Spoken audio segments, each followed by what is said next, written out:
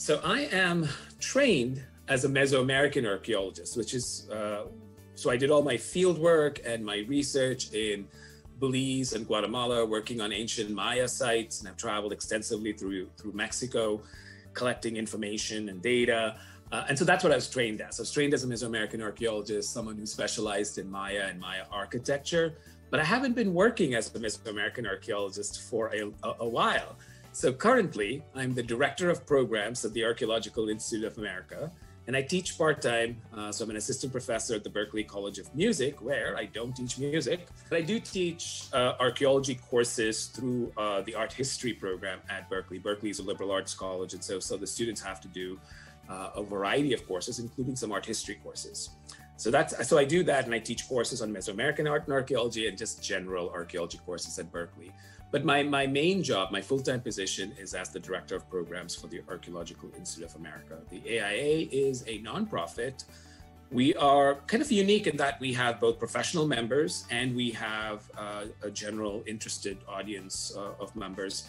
Uh, and my job as director of programs is to provide services and uh, for, for both constituencies. So we do um, things like grants and fellowships, and uh, we have a site preservation program all geared toward our professional members.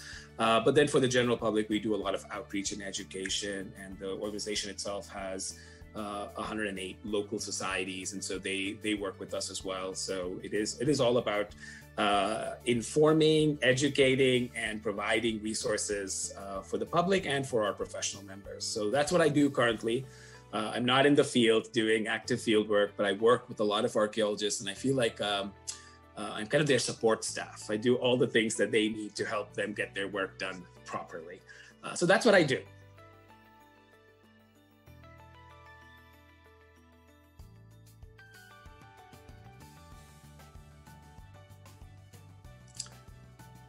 So interestingly, I got into archaeology by accident. it wasn't what I'd actually planned on doing. Uh, I moved to the US for college. Uh, and when I came into college, I was an economics major. But luckily, I went to a liberal arts college. I went to Brandeis University, which is a liberal arts school. Uh, and because I was in a liberal arts college, I had to do courses that were outside of my major.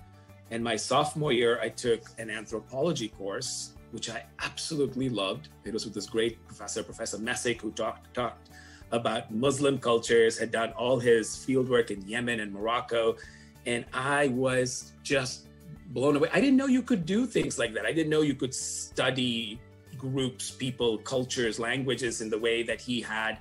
Uh, I didn't know anthropology existed as a possible career choice. So I started taking more anthropology courses, and during that that exploration of anthropology, I discovered archaeology. Absolutely fell in love with it, fell in love with the fieldwork aspect of it, the research part of it, the kind of idea that you know you go into these places and uncover clues and try to figure out what happened there a thousand years ago was just fascinating to me and so uh, that was it once i took a few archaeology courses I, I i realized i was not going to do anything with an economics major but i was going to try and make an anthropology and archaeology major work so i kind of fell into it accidentally and then uh, continued with it. Uh, so from Brandeis, I went to Boston University, and there at Boston University, I discovered Mesoamerican archaeology. Uh, again, kind of by accident. I had not intended to go to BU for Mesoamerican archaeology, but had an opportunity to go do a field season in Belize, and, and again, uh, fell in love with the country, the culture, the archaeology, uh, the heat, the humidity, the mosquitoes, everything. It was it was it was amazing. Uh, and that's what I ended up doing. I, so I focused on uh, uh, the, the Mesoamerican region, specifically on the Maya, and specifically on Maya architecture and domestic architecture. I was really interested in how just regular Maya folks lived, the houses they built, and you know the things that they had in their homes. Uh, that was really what sort of uh, drew me to archaeology and Mesoamerican archaeology.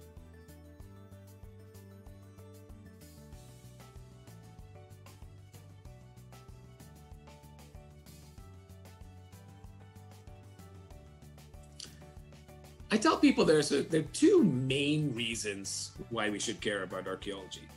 One is that it, it really is helping us understand who we are, where we come from, tells those stories of the past. It tells stories about people that can no longer talk for themselves in most cases, right? I mean, we're looking at cultures in some cases that are so far in the past that there are uh, no direct voices from those from those spaces. And so what we are doing with the archaeology is, you know, in that sense, giving voice to the voiceless. But it is really about telling a story about the past. It really is about uh, filling in the gaps of the human story to really help us understand kind of where we came from, the things that we encountered in the past, how human uh, humans dealt with those things and you know what that can tell us about the future and so that leads to point two which is that man archaeology is just this incredible database of human behavior. We have all this incredible information of how humans acted how they responded to certain changes in their environment in their culture you know. So we know how people did things and we can learn from that. There's so much information there that just needs to be looked at, needs to be analyzed, and needs to be kind of considered in light of our modern situation. So a lot of these things that we think are new to human, the human condition, are things that in some form uh, people in the past have encountered, and we know how they responded. We know about their successes. We know about their failures, and there are a lot of things that we can learn uh, from that. And I and I feel like you know it is again just this incredible database of human behavior uh, and and human uh, interactions and human responses.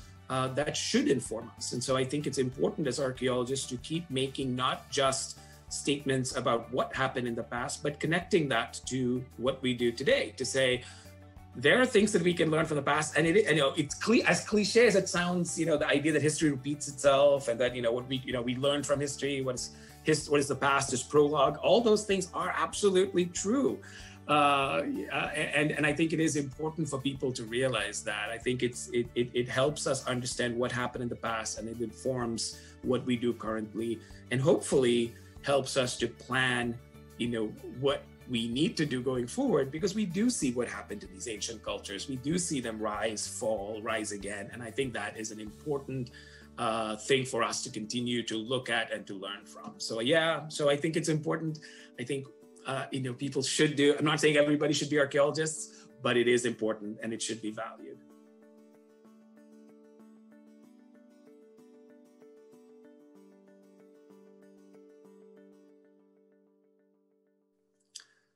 So again, no simple answers with me. Everything is a three-part answer, let's say. So, um, you know, I will say this: the this is not the most exciting, but it's the most meaningful to me. Was doing that very first excavation in Mesoamerica. I was in Belize working on a small Maya house.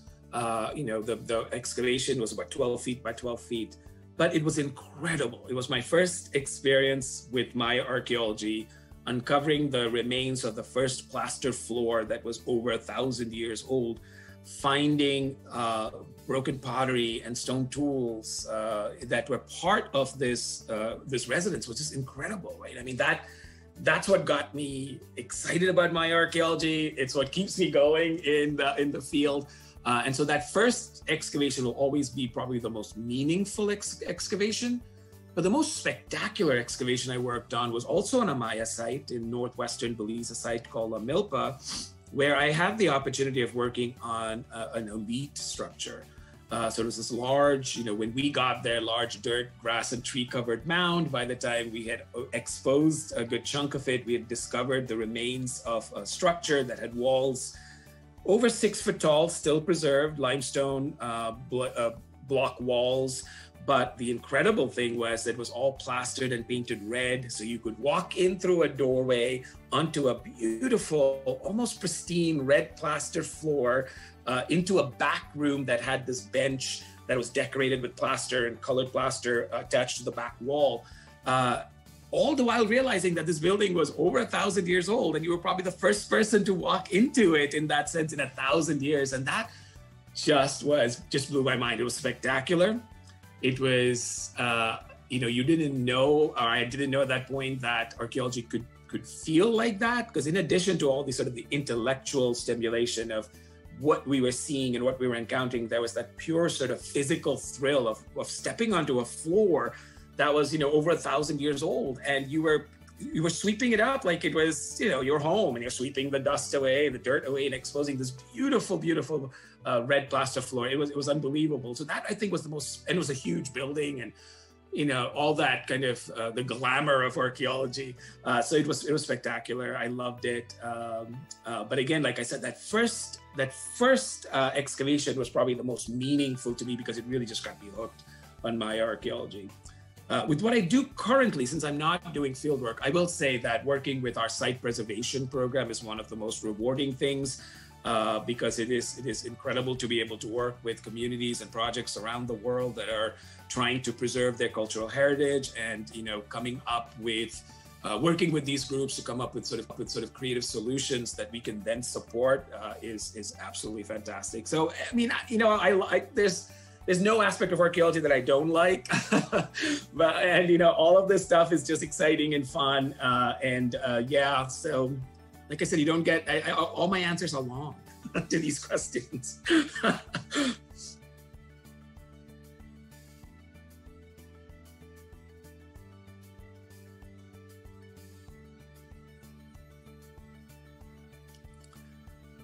yeah, again, um, things that I, I, I, I want to sort of make clear. One is that archaeology can be very local. I think when I talk to people about archaeology, they almost always think of Greece and Egypt and the Indus Valley, or if that, usually Greece and Egypt. But um, but I like to, especially in the in the outreach and the programs that we do, I, I like to emphasize that idea that archaeology is everywhere uh, archaeology is local. Wherever you've had people living, you have archaeology.